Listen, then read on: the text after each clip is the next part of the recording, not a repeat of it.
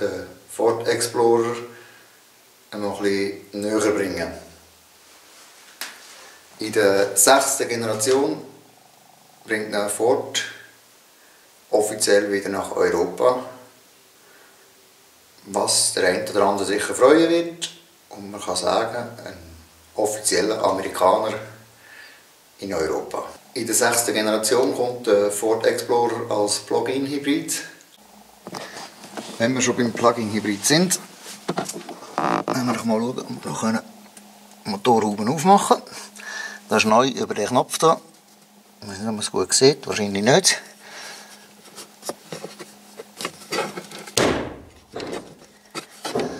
Den muss man zweimal ziehen. Es gibt keine Verriegelung mehr an der Motorhaube selber.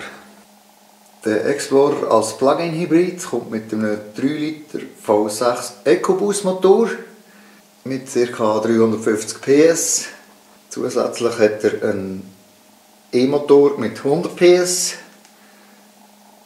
was zusammen kombiniert eine Systemleistung gibt von ca. 450 PS und 850 Nm Drehmoment.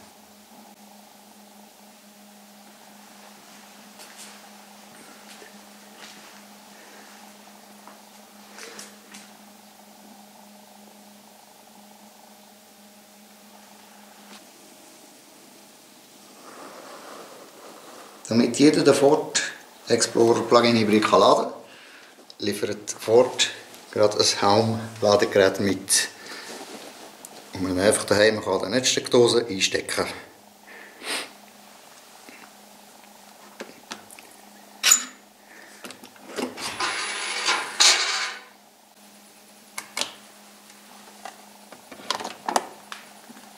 Ford bringt den Explorer als S-Line und Platinum-Version in einer siebensitzigen Variante nach Europa. In etwa so sieht der Kofferraum aus als Fünfplätzer. Um die sieben Sitzreihen auszuklappen, jetzt hier noch Knöpfe.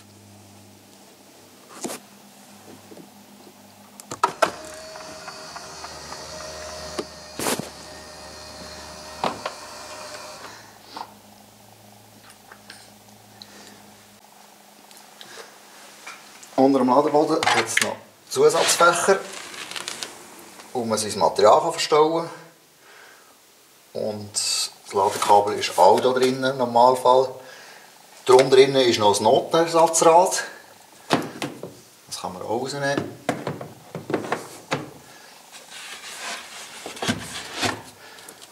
Oder hier. Neben der Fußbedienung haben wir auch an den Heckklappen natürlich auch einen Knopf, man die Heckklappe wieder schliessen kann. Mit dem Knopf kann man die Heckklappe beim Öffnen jederzeit anhalten, damit sie zum Beispiel nicht zu weit aufgeht. Die letzte Position der Heckklappe wird gespeichert und man kann sie dann manuell kann man sie dann wieder ganz anschieben damit wir wieder eine neue Position speichern können. Was für viele sicher sehr wichtig ist, weil sie den Explorer als Familienwagen kaufen, ist natürlich auch der Platz hinten. Für Kinder. Wir sind hier zwei Kindersitze montiert. Und es ist grundsätzlich sehr geräumig.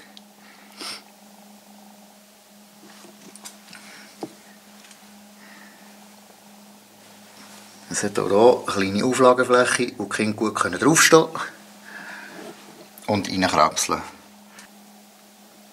Eine Isofix-Verankerung gibt es links und rechts in der zweiten Sitzreihe und natürlich auch in der dritten Sitzreihe. Wir haben jetzt hier einen Ford Explorer in der ST-Line, noch mit dem Querformat 8 Zoll Bildschirm. Wie es bei den Amerikanern bei allen Autoherstellern üblich ist. Während der Produktion gibt es auch immer kleine Facelifts. Die neuen kommen mit einem, mit einem Hochformat 10 Zoll Bildschirm raus.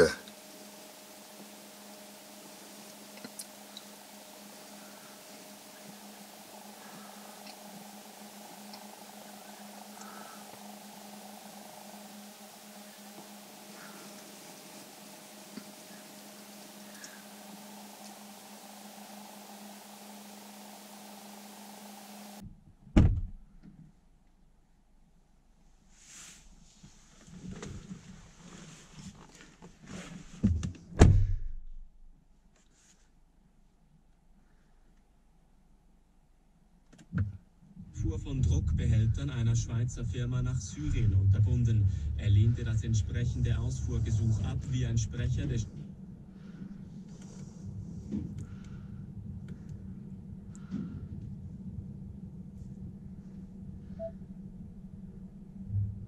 Name für eine Missbräuch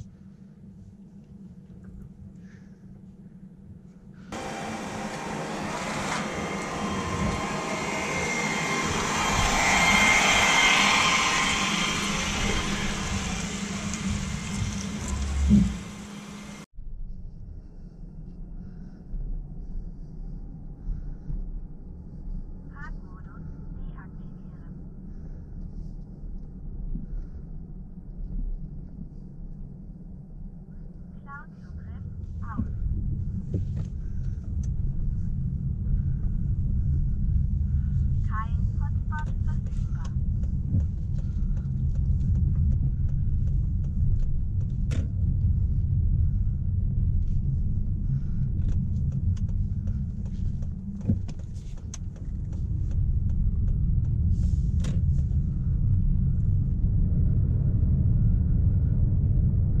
Stärker auf Gas tritt, dann schaltet der Motor zu.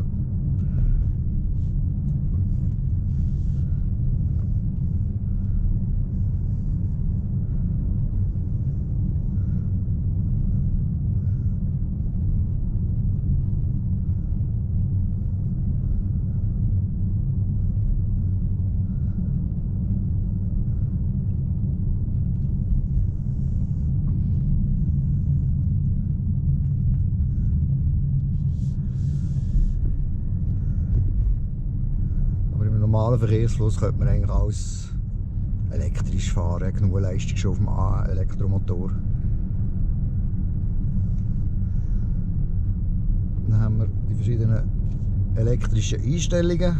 Man kann jetzt im Normalbetrieb fahren, man kann rein elektrisch fahren, man kann sparen für später oder man kann dem Motor sagen, er muss den Akku aufladen.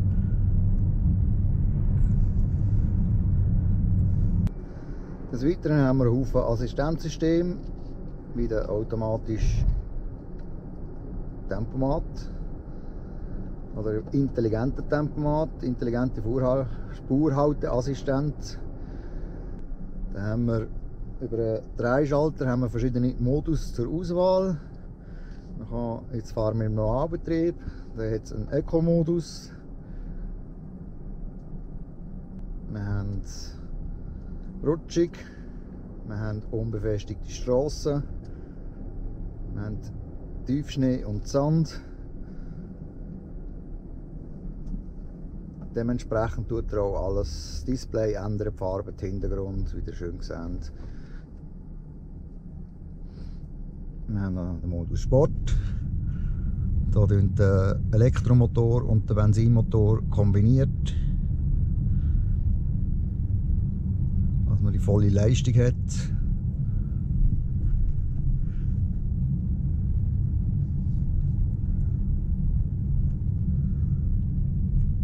Und es gibt natürlich auch noch den Modus Ladung und Anhänger. Aber ich denke, die meisten werden sich im Normalmodus befinden, fahren.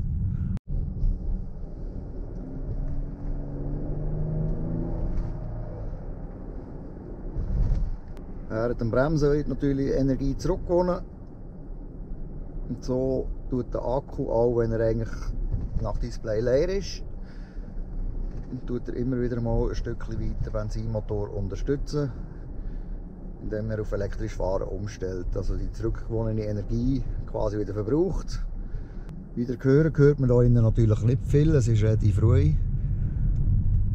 Außerhalb sollte ein Elektromotor oder ein Soundgenerator leichte Geräusche verursachen, damit auch die Fußgänger einem hören beim Anfahren, also beim Zufahren besser gesagt.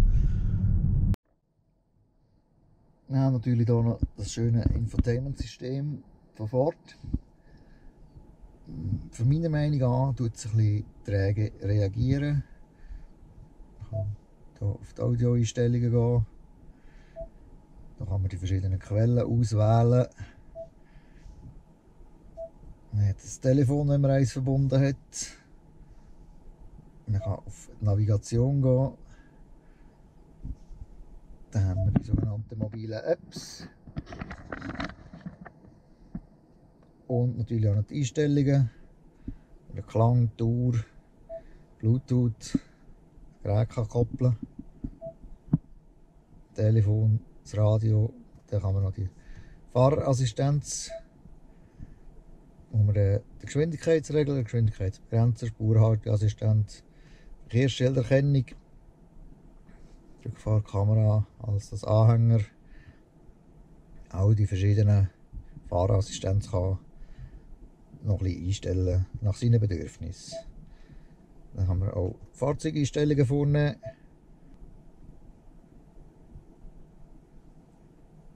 Signaltöne, die Seriennummer vom Dings, vom Modem.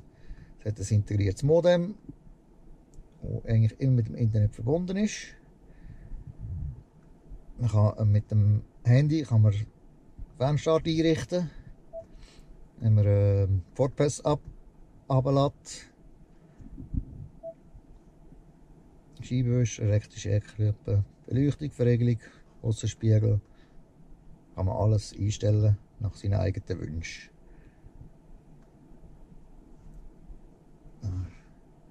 Zweite Seite.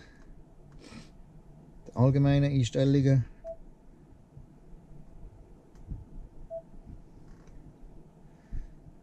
mobile Apps, Anzeige, was wir haben, Hintergrundbild, alles drum und dran, Sprachsteuerung. Und dann haben wir auch die Ladeeinstellungen. Ladezeit einrichten, Abfahrtszeit einrichten. Gerade wenn man zum Beispiel Hochtarif oder Niedertarif, kann man so sagen, ich bin ab der 7. Uhr daheim, ab der 8. ist Niedertarif, ab dann soll das Ladegerät bitte laden.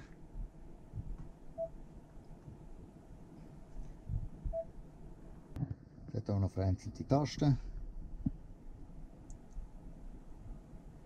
Parkpiepsen kann ausschalten, Pannenblinker und natürlich auch die Frontkamera, wo man wieder Zeit während dem Parkieren noch schnell im Parkhaus innen oder kann zuschalten, damit man sieht, 360 Grad vorne dann kann man das Ganze auch noch ein bisschen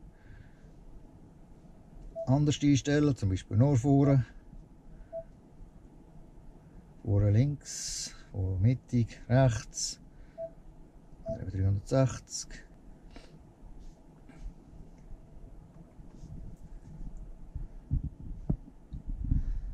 Und da unten haben wir noch eine automatische Klimaanlage. Links, rechts gesteuert zusätzlich über das Menü ja, vereinzelte Zugriff hat vom System.